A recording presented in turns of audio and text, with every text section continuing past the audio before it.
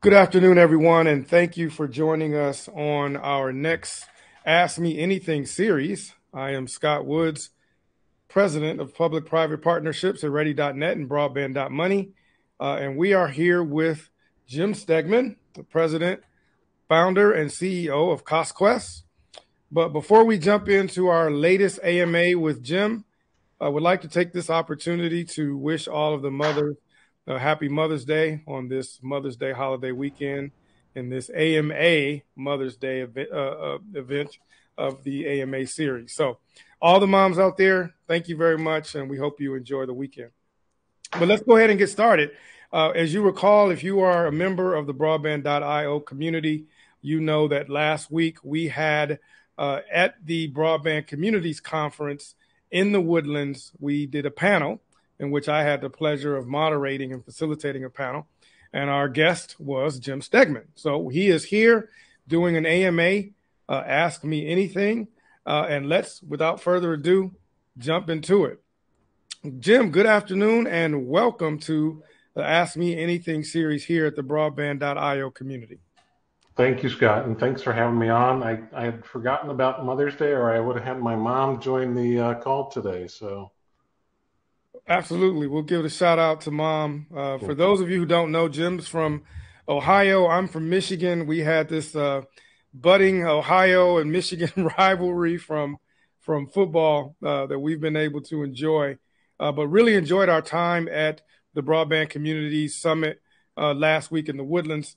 Uh, it was a great panel. Jim conveyed and shared a lot of information. And so we're going to jump right into it right now. we have members who are joining. Please feel free to put your questions here, as well as check out the background that Drew Clark, the editor and publisher of Broadband Breakfast, did on Jim. We have a link up there as well. But Jim, I want to open it up with you, uh, particularly as we talked about last week in the Woodlands, you know, to clear up and address uh, where the fabric is, CostQuest's role in development of the fabric, and what are the next sort of upcoming steps that we can expect as NTIA is poised now to make the uh, initial BEAD allocation announcements on or before uh, June 30th using the FCC fabric data as the basis uh, for those decisions. So, Jim, can you update us on uh, where that process is and, and CostQuest's role in, in, the development of that?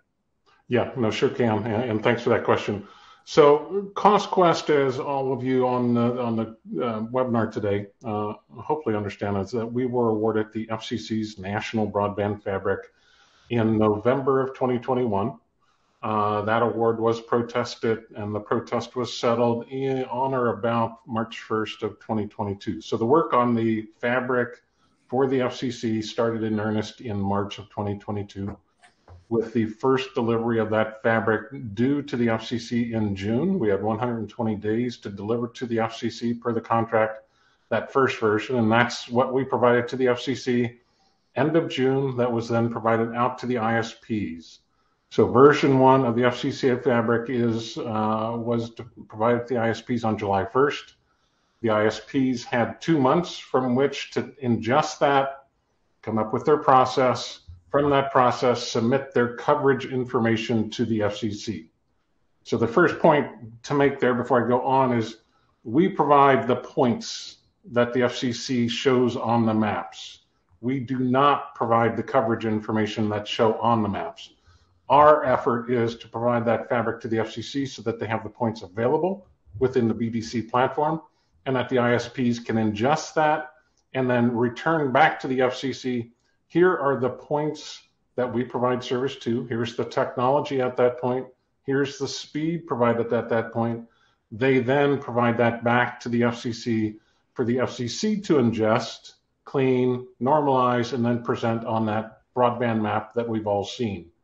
Um, that first broadband map came out in November uh, of 2022. Um, I think many people were, uh, were quite pleased with just the, the initial version of the map was quite good. Uh, the fabric, you know, had issues, and we can discuss those. The coverage had issues, and we can discuss those. But overall, the attempt to add more granularity to the nation's understanding of where broadband is uh, was greatly expanded by that broadband data collection effort and the FCC's effort to turn up that map. So we went from, you know, for those that were involved, the FCC's 477 process collected broadband coverage at the block level, census block. There's probably about seven and a half to eight million census blocks in the U.S. that they reported coverage on.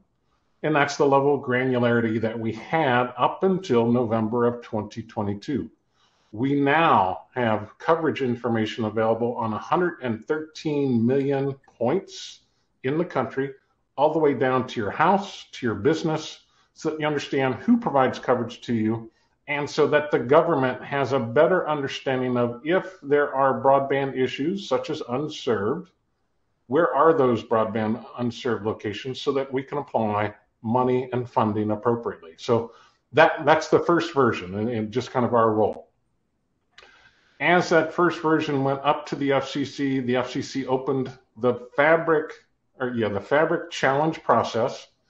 In that Fabric challenge process, uh, those parties that had early access to the Fabric, being the ISPs, states, tribal entities, could file challenges to that first version to say, these are locations we believe you missed, or these are locations that you've identified as BSLs and are not BSLs. So that that challenge window was open. It was closed on or around November 15th.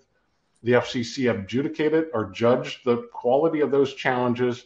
And then at the end of that challenge process, passed to us their challenge uh, acceptances, which was, I think, around 178,000 accepted challenges that were passed to us.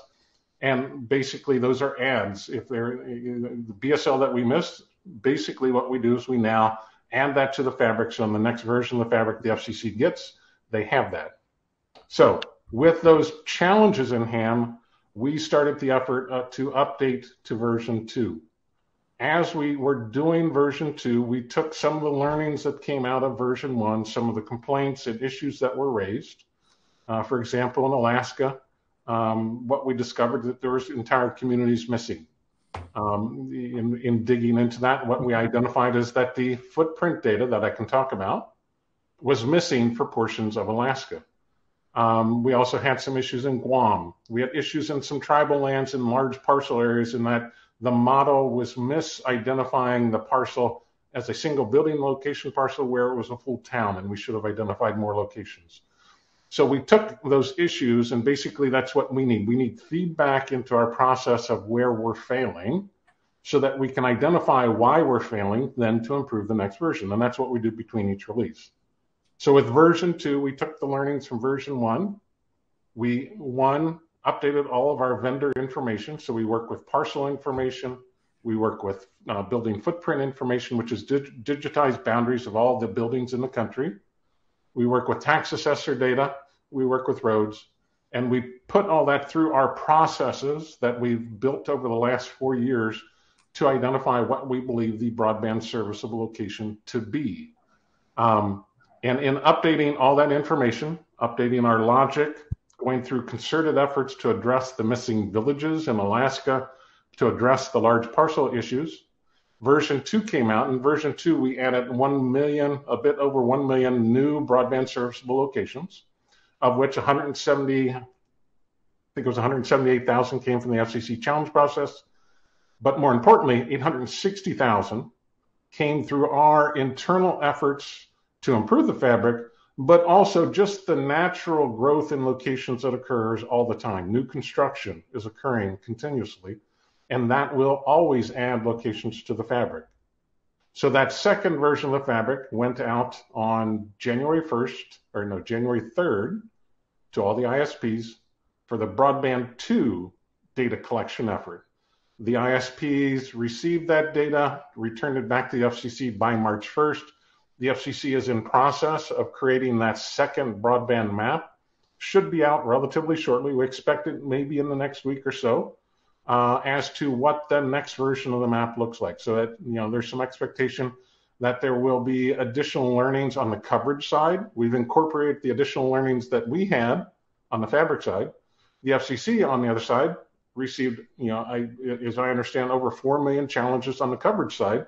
So we'll see how that all evolves into the broadband data collection map 2.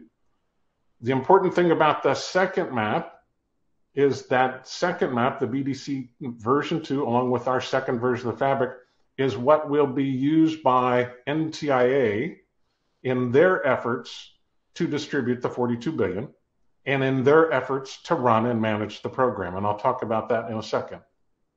We are um, now working on our third version of the fabric, which will be delivered to the ISPs on or about July 1st of this year. For that third version, which will come out likely in November, you know, it's a six month schedule for all this, the map, uh, the, the fabric, and then the maps that follow. Um, it's likely that that third version will have an important role in the actual state programs as the states then, once they get their funding, will develop the programs, have their own individual map challenge, and then come up with the locations that they want to go after with their broadband funds that they receive. So that's kind of the timing on the data. We did make improvements again in version three. We fixed some issues that were identified. We brought in new sources to help try and refine some of the issues that have been noted. What, but what we believe is this is a very high quality fabric product that we've delivered. It was something that didn't exist in the past. There was no broadband serviceable data set that we could go out and grab three or four years ago when we started this. It was an effort that we undertook at the behest of some clients uh, and industry trade associations to say, can you actually develop this? Uh, and we're happy to say, yeah, we can. Um, and in that accuracy, when we look at the data that we create and provide to the FCC and to the ISPs and to the broadband community, we provide, as I said, about 114 million points, depends on the re- release you're looking at. When we look at the parse or the data and we run our test on that, on parcels where we've identified buildings, we are 99.3 to 99.4% accurate in identifying that there's a BSL on that parcel. So 99% plus success or quality rate on identifying the BSLs on the parcel. Once we get onto the parcel, we have a 98.8% accuracy in picking the right building on parcel. Is it the garage? Is it the, barn? Is it the home? So overall, the quality is high, but still uh, on the building selection at 98.8% or 99%, when we're talking 100 million locations, that's more than a million potential errors that we have in the data set. So while we believe the quality is high, you know, our goal is to continually improve this product to continually reduce that error rate. Not that we'll ever achieve perfection, but that we will get as close to perfection as possible in the time frame that we have. So hopefully that's a quick run through on the FCC Fabric side. On the NTIA side, uh, we have been retained by NTIA uh, to provide the fabric to them, to provide our insights on that fabric to them. NTIA will be providing that fabric out to all the states to run their programs. Uh, it'll be provided out to sub-grantees who want to bid in those programs. And we are also providing NTIA our cost information. So for, if you're unaware, we are the firm that runs ran the cost models for the FCC, for the Connect America Fund, for the RDOF auction, for the CAF 2 auction. We're using that same uh, or consistent platform to that to help NTIA understand the cost of fiber deployment across the U.S. so that they can come up with the proper or the allocation of the $42 billion in the BEAD program. Um, and I think that's a quick run through, Scott. Yep, that is. Now, I purposely wanted you, Jim, to, to, to, run through all that. It's a lot of information. I took a couple of notes down, uh, but I wanted just to follow up. Just so the second version of of the fabric map, which is due to come out any day now, again, will be the version that NTIA uh, bases this initial BEAD uh, allocation decision. That's correct, right? That's your understanding. This version that's coming out, NTIA will use that to justify uh, and make its uh, funding decisions, initial allocation decisions by June 30th. That's my understanding, yes. And then I want to clear up something else. You also said now this third version that's coming out, uh, based on your understanding, is the version that the states will use to govern their ch- challenge process or challenge processes, and then ultimately govern their programs. So it, there will be some. Go yeah. ahead. Yep. let me clarify. I think the third version will be what they use in the the um, developing their program. It's all in timing. Since that won't be out until November, it's likely that the NTIA challenge effort that the states will run will be based on version two, but then all that will roll into a version that they'll then use for the in, the the development and rollout of their programs. Okay, thank you. And then you are, as from CostQuest standpoint, you are just collecting the BSL data points. You are not uh, doing anything with the ISP provided data other than just reflecting the data that comes in. So I want to, is that correct? Correct. Correct to a point. We Correct. we provide our points to the FCC. The ISPs provide their coverage. The FCC then associates that with the data, and they are in charge of the map. We have nothing to do with the broadband data map. We just simply provide the points that come up on the map. All right. Thank you very much for understanding that, for making that clarification. And I want to clarify something else. Uh, you said you are providing insights to NTIA and cost modeling info what insights are you providing to NTIA based on the contract that you have executed with NTIA? The insights are one, just a simple understanding of what the data represents. You know, there is some confusion about locations versus units. Um, as I said, the, the fabric has 114 million BSLs in it. And parties may go, well, there's 140 million housing units in the US and 20 million businesses those numbers don't add up. Well, what it means, the 114 is the actual number of buildings in the model, and that's what is called a location. Mm-hmm. On the NTIA side, it is the the law was written that the allocation is based upon locations. So it's helping all parties understand that locations, what that means and what units mean, so that as you institute programs, look at high cost, all that type of stuff, that you have an understanding that a 20 unit apartment building may have a higher cost than a single family house right next to it, even though they may be on average the relative same cost per customer delivered. Okay. All right. Thank you for, for, for clarifying that, Jim. And uh, we've got a ton of questions in the community right now. So I want to get to uh, the, the, the, community questions. Uh, but first, I want to talk about some opportunity to clear up some misconceptions and, and, and mischaracterizations of the map. We talked about this a lot uh, at the Woodlands in the Broadband Community Summit uh, panel.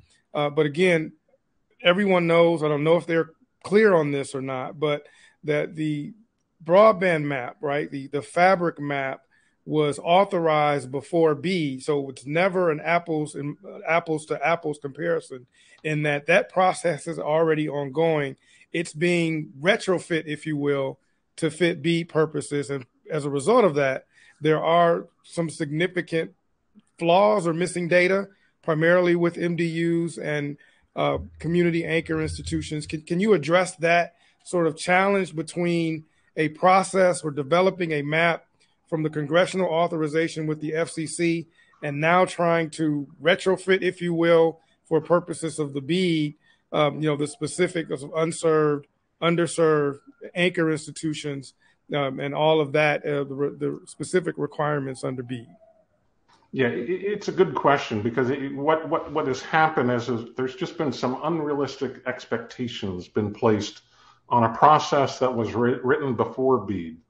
So the expectation was that this mapping effort would be an iterative process that would improve over time it's a brand new process of going from seven and a half million points that people recognized and identified mapped to 114. So big learning effort.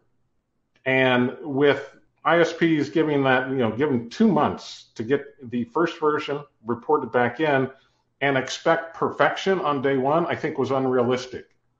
And you know that that unrealistic expectation was amplified when BEAD came out and said we're going to distribute the 42 billion dollars based upon the broadband map, which is great.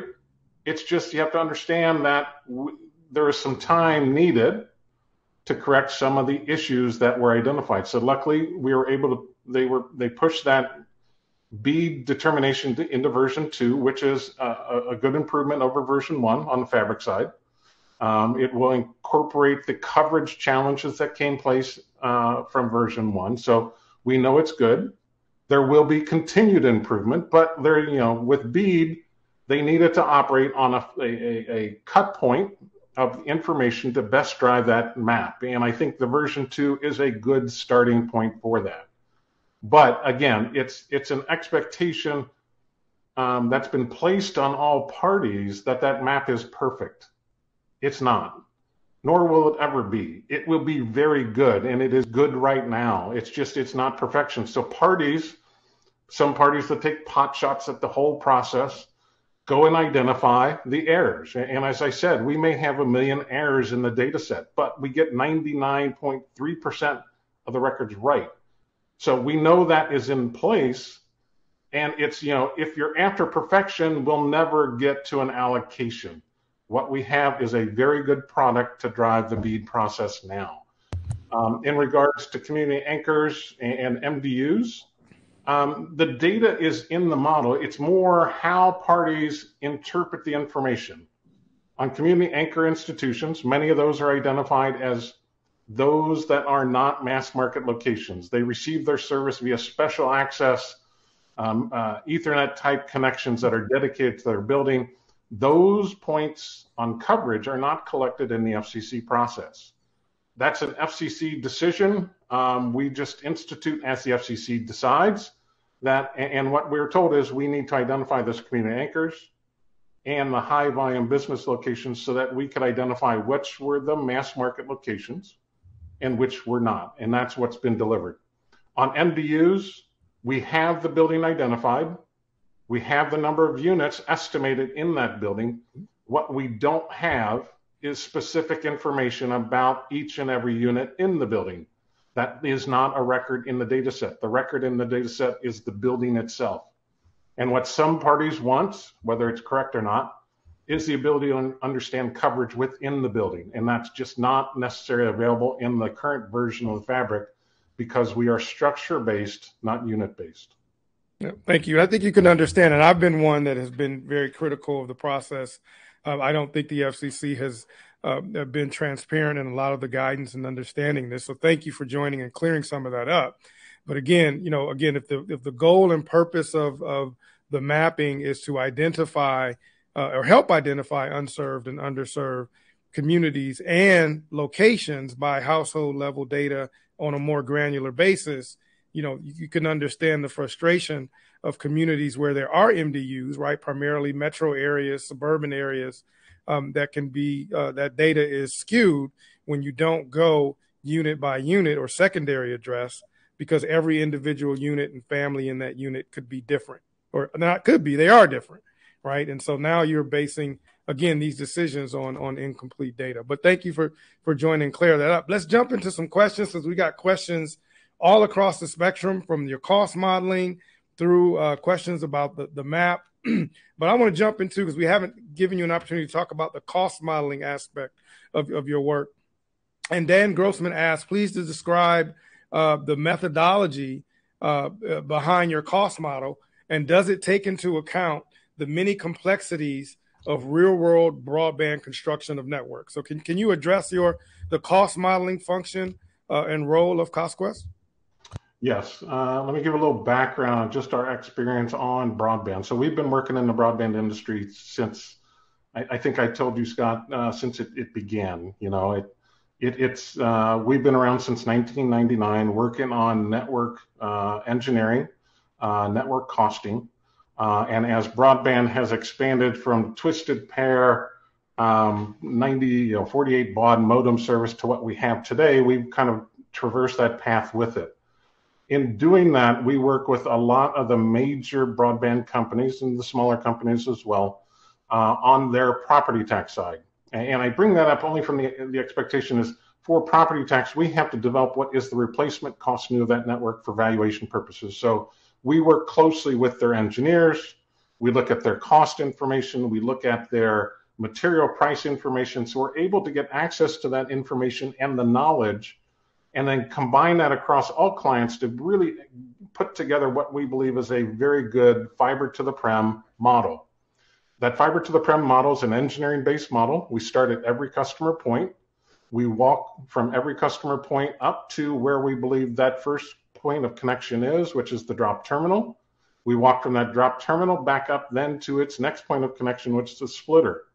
We identify all the points in that splitter neighborhood using minimum spanning road tree algorithms to minimize total cost and total deployment footage so that when we're done engineering 114 million points across the country, we've walked a path from every point up to its serving node. So from the detailed knowledge, we have detailed knowledge of every uh, every point in the network, the customer connection, how long the drop is, how many customers are connected at the drop terminal, how many customers are at the splitter. So as we then apply costing algorithms to it, we simply are looking up, here's the appropriate size splitter, here's the cost for that splitter, here's the installation, engineering associated with that, so that then that cost is uh, reflective of what a party would build today. Is it the exact cost? No, it's a good, good uh, approximation of what that would be for an efficient provider to build out that network, and that's what's provided. Um, hope that helps. Yep. Thank you for that. Uh, next question. Um, uh, questions are coming in, as you can imagine. Uh, Jim, you're fast and heavy. I want to ask the next question from Joseph Valandra, who's the president and CEO of Tribal Ready. He said, "Do you have an explanation, or the the SCC FCC provided an explanation for the way tribal lands and communities have been misrepresented or overlooked completely in Fabric? Uh, and also, how is tribal data sovereignty being respected in the Fabric data collection process?" Yeah, tribal issues, uh, you know, we're aware of them, uh, and we are making concerted efforts to make sure that we address any issues that are brought to us. And that's the first key important part of this is we need to be made aware of those issues. We just can't have people say you have tribal issues. We need to know what they are so that we can actually go in, look, and determine what we are either missing, what we've misinterpreted, or how to address that. But in version one, as I said earlier, we, we had some issues on large parcels, uh, which uh, of which tribal communities are, you know, make up a, good, a portion of that. And what large parcels are is we simply don't have individual ownership down to the house level.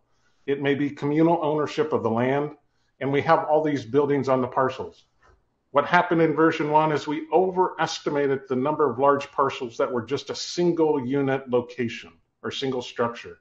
So a whole community, we looked at it, identified it as a single location parcel. We went in and picked what we thought was the best structure in that collection to say that is the BSL.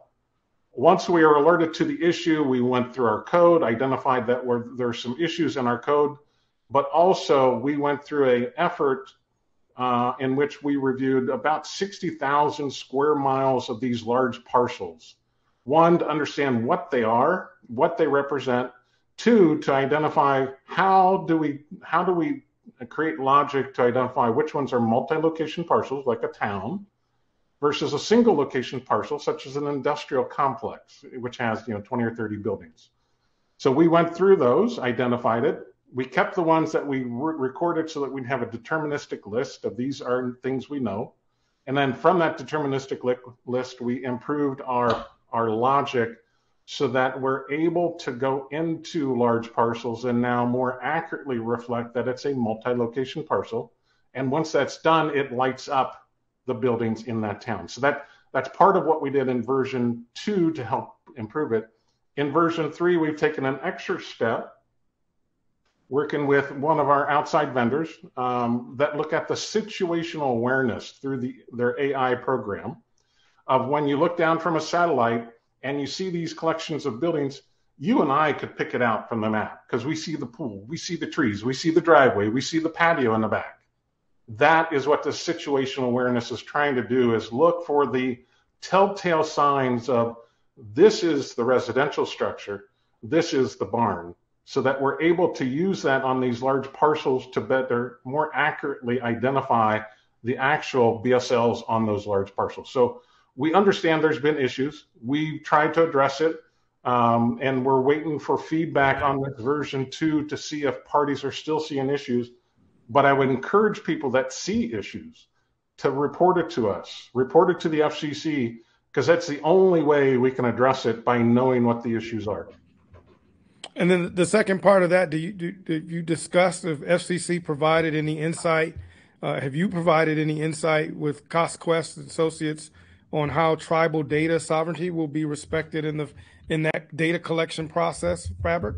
Um, we have not had those discussions with the FCC uh, on our data collection effort. We're using public uh, or vendor data sets that have that information in it. Uh, so we're not necessarily going out into tribal data sets and uh, sources. We're pulling this from what is is available uh, through the community, through aerial photos, all that type of stuff. Okay. Our next question comes from Mike Dunn. He asks, "What are the downsides of developing broadband location fabrics as intellectual property, and is there a way to overcome them? For example, it has been reported that some states were prohibited from using their own providers' mapping data to underpin a challenge because of that provider's de- desire not to share that data with the FCC and CostQuest by association. Does that defeat the purpose of knowing exactly to the granular level where unserved and underserved uh, locations are? Uh, it, it, does create some obstacles. Uh, there are intellectual property concerns with the data you know, as we develop the fabric, we have to work with third-party vendors who have license agreements with us. We have to adhere to those license agreements as we create our license agreement. So while it would be great to have this as a public resource, open public resource, there are restrictions if you want a high quality data set.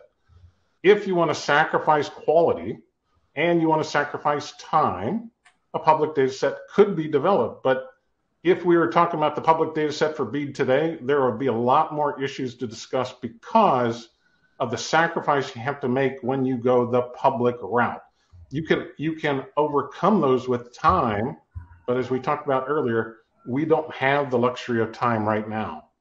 In regards to the state challenge process, vendors who undertook those efforts for the states you know, it's an issue for those vendors. It, it's it, it, was an FCC process that was well known that they would be requiring challenge information to the fabric. Those vendors talked to the states. It should have been known that they would have had to file that with the FCC. The FCC's made that challenge information public, the process public, so all parties should be aware. Um, and it, you know, in the end, we're able to use that challenge information to better improve the product that is used for the broadband community. So. Hey, and Dave Todd asked a similar question. Uh, why not open the source code? And do you have any plans to open the source code as community participation would quiet that noise and add a, bill, a bazillion, as he said, useful features? Yeah, it, it, in part, you know, as you think about the open source approach or the open data approach, as I said, it can be done, but it takes time. Um, and it's time that we don't necessarily have the luxury for or the or the funds to do that. It's a much more expensive process because we're able to leverage data sets that vendors have developed that they provide at a lower cost than original development of the data source. So we are able to save money there, but the downside is it's got restrictions on use. On the upside, the FCC has issued multiple licenses that allow parties to access the information, use the information, and then as far as improving the data, they've got a process called the challenge in which parties can come in and challenge the information so that it makes it through.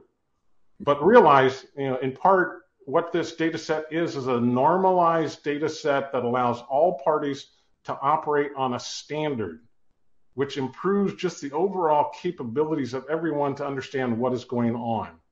With an open source, potentially what can happen is there's different paths that occur different development items.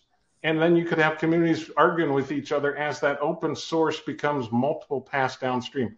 This just controls the process. Whether people like that or not, it's just the way it was implemented.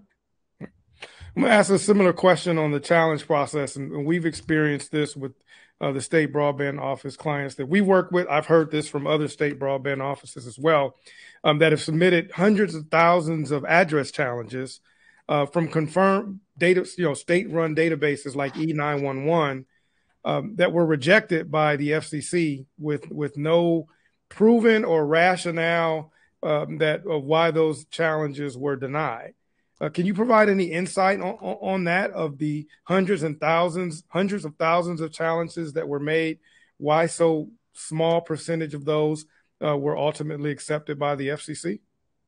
Yeah, there, there's a couple aspects to that. We, we assisted the FCC on some of the challenge process because we have all the geospatial data. So some of these tests are geospatially driven. Um, FCC gave us guidance on how to implement those efforts. And, you know, in part, one of the key issues was parties would file an address and a BSL and say this is this was missing in the fabric. But what happened was the BSL the location they gave was actually an existing location in the fabric. What was missing potentially was that second address on the building. So let me talk through that. So a condo unit on common property, a common parcel, five units in one single building. That's one BSL in the model. In version one, when it was released, we assigned a primary address to that condo. The other four addresses didn't necessarily make it into the secondary address data set. Um, so what parties did is when they compared this to their known address listings, these addresses potentially fell out and they said, you're missing these. We were missing the addresses. We weren't missing the locations. So that's why they were rejected because they were falling onto a structure that was already identified. What should have occurred is those challenges should have been filed as an address challenge, not a BSL challenge. But that said, we understood the issue and in version two, those additional four addresses on the condo unit are now part of the fabric so that parties can see and compare the full address list that's in the fabric to see if anything's missing. So that that's you know one part of the issue. The other part of the issue is the FCC does verify that it is a valid address. Um, that validation was going against USPS datasets uh, and other sources. And if it didn't match, it may have been rejected. As I understand, that's been loosened in round two uh, so that more of those addresses can come through, but there's always a quality check just to make sure the address does make some sense. Okay. I'm going to switch gears a little bit and talk about NTIA's recent challenge process guidance. And Jim, we had a ton of questions here uh, in the community. Everyone, we will not be able to get to all of the questions uh, but we will please uh, please bear with us. But we're going to ask as many as we possibly can. Uh, next question comes from Shannon Williams Mitchum uh, here at Ready, our director of outreach and research. She said, "Can you talk about NTIA's recent challenge process guidance and how it relates to your support of the FCC? Will the results of the challenges conducted at the state level have any bearing on service designations in future iterations of the Fabric Map?"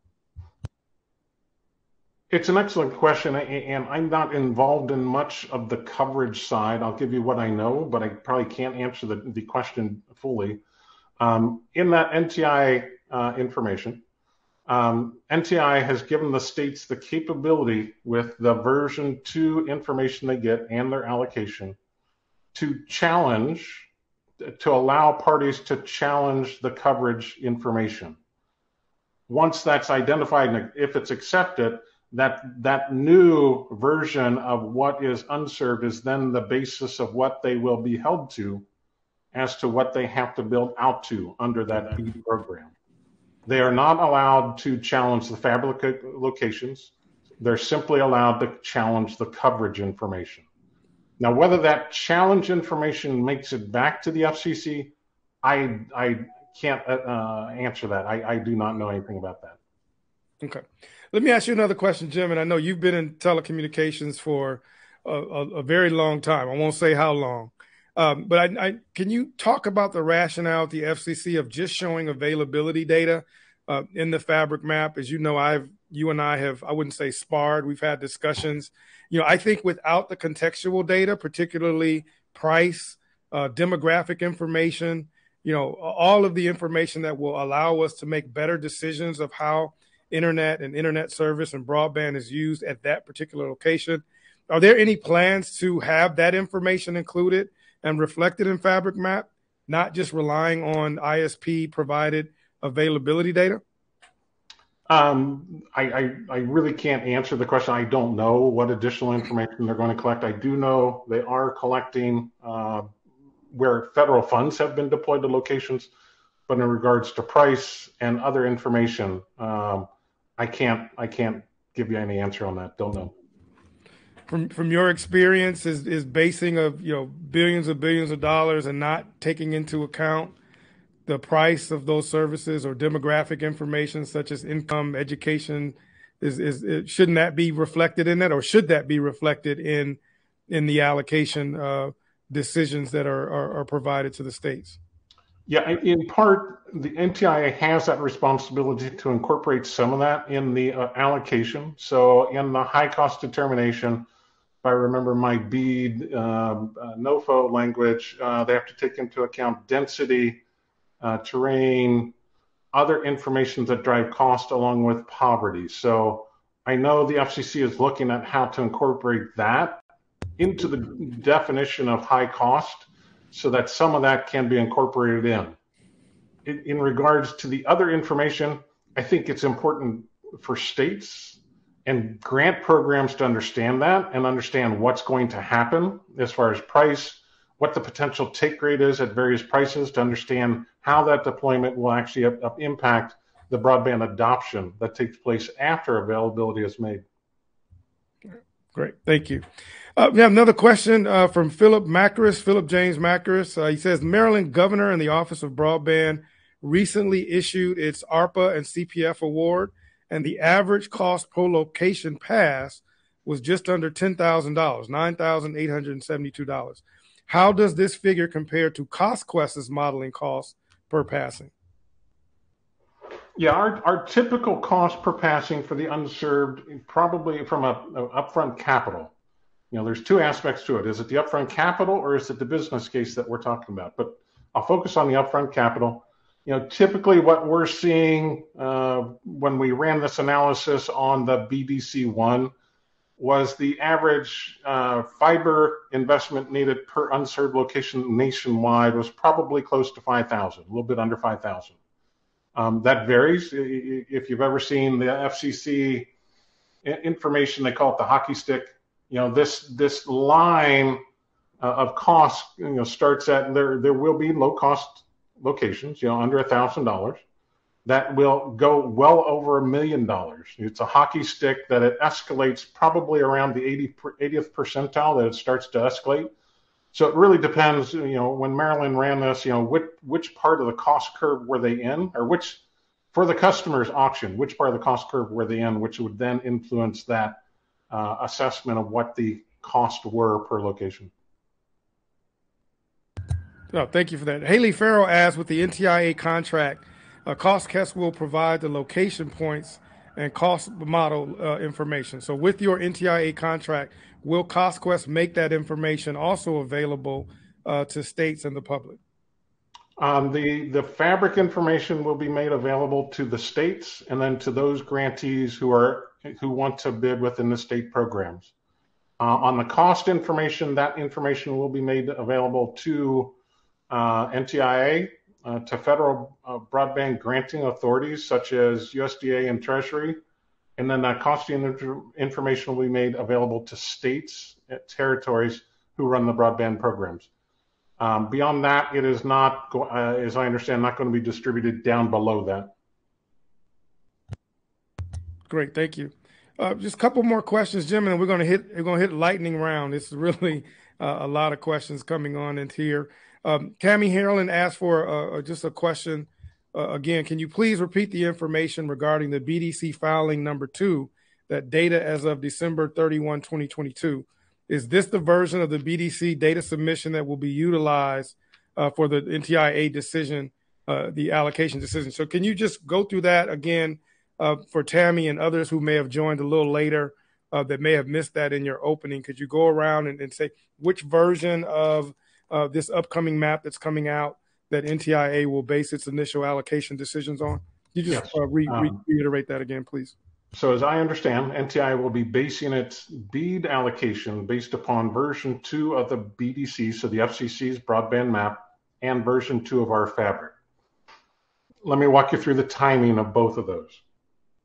So, version two of our fabric was released to the ISPs on January 3rd of 2023.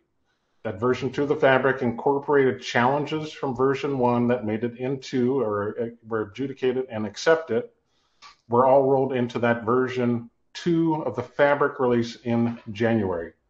The ISPs then had two months from which they ingested that and then were reporting back to the FCC here are the locations we serve, what technology we provide, what speed is available, what latency. All that was provided to the FCC.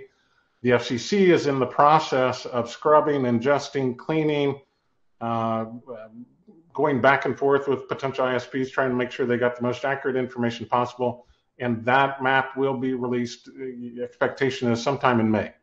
So, given that we're mid-May, hopefully in the next week or so, but you know, it's it's expected sometime in May. Um, that is version two of the FCC map. So it's version two of our fabric that was published in January, and the coverage information that will be published in May together form the information that that NTI will use because that forms the information of which of the fabric locations from version two are unserved based upon NTI's definition of unserved. Thank you very much. And Rick Usey asked, since the current fabric is as the end of 2022, as you said, is there any possibility that CostQuest would make significant changes to locations in the fabric and thus the FCC map uh, between now and the NTIA's expected announcement at the end of June if it discovered that a significant number of locations are missing from the fabric map in one or more areas. So again, this is a little bit of a targeted question. If if there is data in one or more areas or communities that there uh, is a significant number of locations missing, uh, will you then subject and in- enter that information uh, into the version of the map that NTIA will make uh, its uh, initial allocation decision on? Or would you push that to a, a another, a later iteration of the fabric map?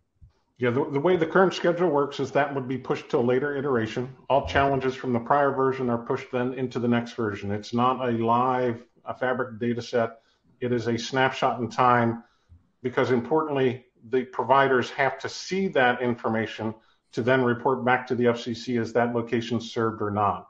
So that's why it's kind of scheduled out that way. Um, we don't believe there's any big missing pockets. There may be up, you know, a couple uh, missing BSLs here and there, but as far as we can tell, based upon our testing, we're not missing big pockets.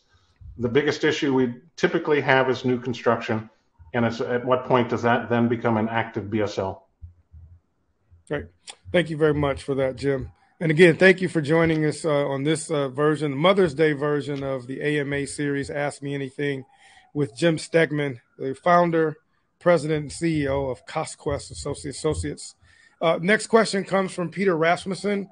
If version three of the fabric in November 2023 will be used for state eligibility locations or to determine those locations. Is it correct to assume that the state grant programs thus will not begin until Q1 of 2024 at the earliest? So, again, uh, I know you're not speaking for NTIA per se, but uh, based on the uh, information and data that you'll provide to NTIA, can you make a, a, an assumption of when uh, the BEAD state programs will begin? Um, it, it's just my expectation. It's not necessarily based on anything that parties have publicly announced. It's just if you think about the schedule, the BEAD allocation will occur uh, at the end of June. Uh, there will be then the state challenge process that has to take place. That will take some time for it to take place. The states will then have their time frame from which then to submit their plan to NTIA and the expectation is on average, we're talking the end of the year. There will be states that may be pushing that up earlier and they may rely on version 2 mm-hmm. But as those states get later in time, it may be advantageous to rely on the latest version. And if it's late in the year, that's third version of the fabric and the third version of the, the FCC information will be available to help guide the process. And those plans start to come in from states 180 days from the date that NTIA makes those decisions. So that initial plan, the five year plan, also fits into that that scenario as well. Yeah. Well, Jim, we got 10 minutes left. I want to get into a bit of a, of a lightning round here. Uh, as we talked about, and you you kind of dropped a bombshell on us uh, at the Woodlands when you talked about this this I'm not gonna call it a secret government file, but the, this detritus file that uh, got a chuckle out of everyone at the conference. Can you just shed some light because there was some significant follow up and questions about this file. Um, this uh, this I'm not gonna call it secret file, but this file of data and information on locations. Can you can you uh, touch on that a little bit? Uh, yeah, the, the, question that came up at uh, at Woodlands was uh, it, it, was a rural co-op raised the question about well, what about smart ag? You know, what about the the chicken house, the silos that may need broadband, um, the the sprinkler heads, all that type of stuff. Uh, and what I responded with was, you know, the intent of our effort as directed by the FCC was to identify those residential and business structures that require mass market broadband. Um, it just wasn't the direction given to us, but as we collect the data, so as we get footprints, I think we get about 180 million footprints in our data set. We're selecting 115 or 114 million. So there's this gap of, of structures that aren't selected that may be the chicken house, may be the silos, may be the water tower, all those locations. We have those and we place them in a file that we call just the detritus file. It's just it's a file that captures those things that we don't use. It's available. Uh, we have that information uh, so that if there's other need to understand other types of locations that may need broadband, there's a potential that we have access to that information today. And let me clarify this, Jacob Jim, because I don't want people to come out of this and think that I've I've stated that uh, CostQuest has this secret government file on location. This is not a secret government file that uh, you and the FCC are keeping on broadband locations across the country. Can you just confirm that, please? So it, it, I won't get in any trouble for for conveying that. Yeah, and yeah, it, we we named the file, so maybe they're not the best name of the file, but it's just a file that we kept as part of the contract. They just wanted to know the structures that we did not use in case they needed to be examined for issues, for error corrections or whatnot. So we keep that file uh, available with each release. Great. Thank you. If you could provide uh, uh, information and link to that, we'll post it to the community and folks can go check that out, James. Thank you so much. This is a really good question, a follow up from Dan Grossman. Um, and we found this as well. He said there are several large discrepancies between the BSLs, the broadband serviceable locations, reported by at least seven publicly traded carriers, and the number of homes passed that they reported to their investors. For example, I'm not going to say the company name. Company A reported 8.3 million BSLs to the BDA, but have told investors that they passed 17 million locations. Do you have any insights into those discrepancies and and, and why that could be a, a such a reporting uh, difference between that information? Yeah, I've had a number of people ask me that question. Um, I don't have a good answer. It, it really this is an ISP reporting issue, whether they're reporting correctly or not, um, I can't really address the concern, but I, I, do understand what they're talking about. That you know there are parties that have reported publicly X number of lines served by fiber or coax, but when you look at the BDC information and download it, it it's not close, and I, I can't. I don't have a good answer for that. Great. All right. Thank you, Jim for that honesty. We appreciate that. The next question comes from Jane Coffin. She said, How will the mapping fabric keep up with newly funded projects by consortia that include smaller ISPs uh, versus the incumbent telco? So, keeping on this incumbent telco line of questioning, she says, These smaller ISPs and WISP will not have access to the mapping data under the current process, uh, so it seems. So, um, how, how will the fabric keep up with as you're making these new iterations every six months. How will how will you keep up with um, not only the new projects that are coming out under uh, the various funding federal funding programs, but also documenting uh, additional projects as they come online? Yeah, that's probably more of a question for the FCC on the coverage side. How do they collect this information? But as it's my understanding that all broadband providers are supposed to report their coverage, and that coverage will roll into the map. So if parties aren't reporting their coverage, then how do we know that it's served. So it, it's more how they need to get that information to the FCC. Okay. All right, folks, we got just over five minutes left. We're in our lightning round of questioning uh, with Jim Stegeman. Uh, another question comes from Phil Macris. He says he understands that CostQuest assisted the FCC in determining the reserve price in 2020. Has CostQuest seen broadband deployment costs increase since then? And if so, how much? He's hearing cost increases from 100 to 300 percent since the time of, of, that time you developed that per location uh, past data information. So, as I mentioned earlier, we work with a lot of broadband providers. Uh, access to their cost information, access to the material cost, and you know, over the last two years, as everybody understands, inflation has gone up. There have been labor shortages. We've had supply chain issues. So various material items have gone, gone up. Various labor costs have gone up. There are labor shortages that then contributed to it rising. Um, have we seen the level of broadband costing double uh, for a network? We have not, but we have seen it increase. I just can't tell you, you know, whether it's 5%, 10%, or 20%. We'd have to understand the area that we're looking at to tell you what we're seeing in that area.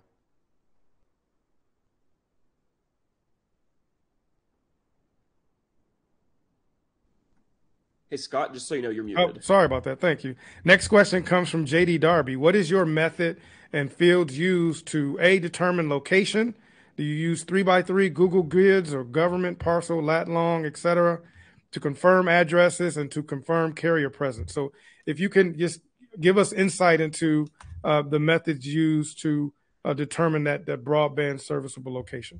Yes, so the location itself, so on the coverage part of that question, we don't do the coverage. That's the ISP's report at the FCC. On the actual point itself, um, we do not use Google uh, Google uh, Plus codes. We do not use H3. We report the locations. So for the fabric location we provide out, we will provide the H3 cell falls in the census block group. So those are more reporting attributes. But in the development of our fabric, we start at the parcel level. Uh, we start with about 160 million parcels across the country. In those parcels, we identify all the building footprints that we can identify in that parcel. And then once we identify that we believe there is a BSL in the parcel, we will go through a scoring effort to try and identify which of the buildings in the parcel we believe is the BSL. And then once we identify the building, we place the latitude and longitude typically on the centroid of the building polygon to say this is approximately the point at which broadband point delivery would be made. Thank you for that. Next question. We're in a lightning round, three minutes left. Next question comes from Jessica Zavullo. Can providers report new BSLs in between uh, the uh, allocated reporting period? So, can the provider just submit information to CostQuest or the FCC when they come and determine new BSLs? Yeah, for, for new BSLs, that can be reported uh, to the FCC through the challenge process. There's seven types of challenges that the FCC allows. I uh, tell the party to uh, examine the information the FCC publishes to make sure you file the right type of challenge. But that is available with each release of the fabric. Great. Two minutes left, Jim. Almost finished through the lightning round. Dave Todd asks again if it can be fit in, right? Does CostQuest or the FCC have an OPEX model? Or from a disaster management perspective, does that feed into the designs or OPEX based on the type of disaster, hurricane, tornado, et cetera? He also put in nuclear war. I'm not sure we account for nuclear war, but on the other conditions, um, when we develop the, the first, the investment associated with an area, we look at the type of plant mix. Um, we're looking at alternatives to that, whether it's fully buried to address some of the environmental concerns, um, the fire concerns that you may put it underground. So we do examine that. We provide that information out to our clients, be it the FCC, NTI, whoever it may be. And then from an operational standpoint, we do have an operational cost model because we try and develop what is the 20 year business case for each of those deployments. Uh, we actually take that down to a per customer basis uh, so that parties can understand the potential business case of this point. But I would encourage those parties that use the information to look at it, recognize that it is a uh, best approximation or best estimation of what we believe the cost to be. But there are attributes that may not be fully captured uh, in the cost development that we've done for that particular point. Typically, as you grow out on an average area basis, uh, the numbers are typically capture all attributes in the area. It's just at, at a point level with all estimation uh, you just need to be a bit more careful. Well, Jim, thank you. I think we're about 30 seconds left. I will give you the, the, the last word, but before I do, Jim, I want to thank you, uh, you and your team for making yourself available, not just for the conference, but definitely uh, for today's special AMA of this Mother's Day weekend. Uh, so, Jim, I will give you the final word, and then we will we will sign off. Yeah, thank you, Scott. Thanks for having me on today. It's been a privilege to uh, sit with you today uh, to answer the questions. I know there's a lot of interest in the fabric, in the broadband data collection effort, and I know it's been heightened with the BEAD allocation. The biggest thing I'd say is just patience and understand that this is a continual improving process. It's great data right now. There will be some minor issues here and there, but focus on the bigger picture uh, as to whether in total is it working, and I believe it is. Well, Jim, thank you so much for, for joining us. Uh, we really do appreciate you taking the time today uh, and again, for all the moms out there, happy Mother's Day. We hope you enjoy uh, the weekend. If you get a chance, check out the bio that Drew Clark did on Jim Stegeman. You can check him out uh, at CostQuest and Associates and uh, all about the good work um, that he's doing and has done um, in his career. So we're going to sign off. So on behalf of the Ask Me Anything series, our sincere thanks, Jim, to you for joining us. Thank you for everyone who joined us in the community today. And please have a great weekend, and we will see you next week. Thank you.